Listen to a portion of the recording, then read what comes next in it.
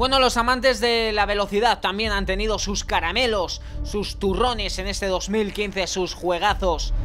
En esta ocasión títulos a destacar como pueden ser Project Cars, un juego de lanzamiento previsto para antes pero que finalmente fue retrasado y lo hemos tenido en este 2015.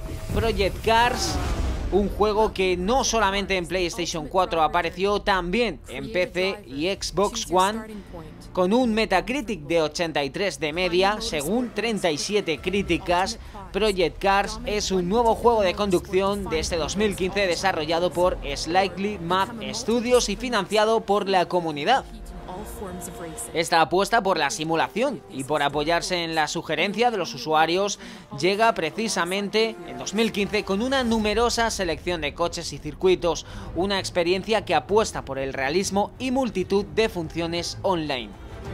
El lanzamiento de este juego tuvo lugar el día 7 de mayo de este año 2015 que dejamos atrás.